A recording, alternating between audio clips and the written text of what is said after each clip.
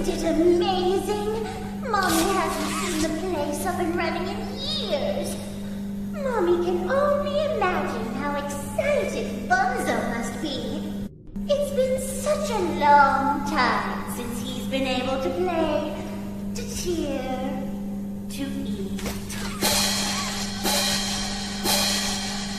Oh, that's the dinner bell. Good luck. Thank you.